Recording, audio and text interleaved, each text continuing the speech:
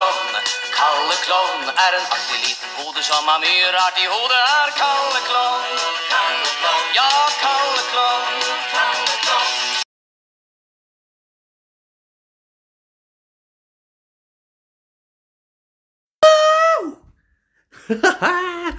What's up, the Icon Army?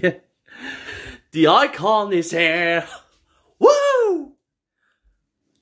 Today er det cupkamp Ishavsbyen mot Tromsø. Ja, forrige kamp I watched uh, TV in my boss house. At det ble enig mellom Bodø og Tromsø. Fair enough. Men det spilte så veldig bra, så det har ikke tatt på tre kamper, which is good. Today hvis man klarer å få til bra spill mot Ishavsbyen lag fra tredje eller fjerde divisjon, så da kommer Tromsø til å gå videre til runde to.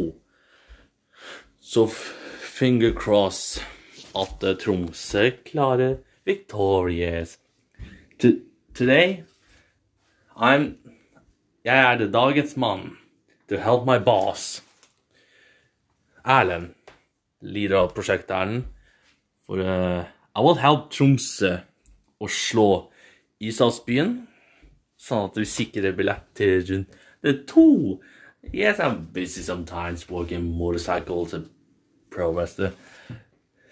I am the icon from the icon world, Center Beach, California. so Flott sol. Woo!